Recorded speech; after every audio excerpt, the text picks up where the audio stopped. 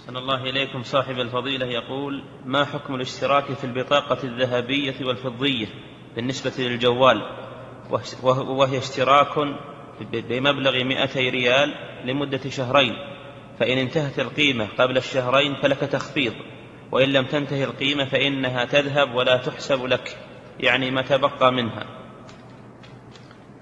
أخذ البطاقة للجوال أو للتلفون للمكالمة تدفع قيمتها لمدة شهر لمدة أكثر أو أقل. هذا لا بأس به هذا لا بأس به لأنك تدفع قيمة المكالمات مقدمة وهي محدودة إلى شهر إلى شهر شهرين أو أقل من ذلك أو أكثر محددة ما فيها جهالة. هذا لا بأس به. لحاجة الناس إلى إلى ذلك.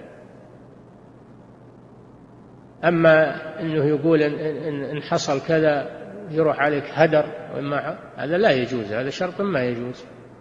لكن تأخذ بطاقة تكلم فيها مدة ثم تنتهي ثم تأخذ ثانية هذا لا بأس به.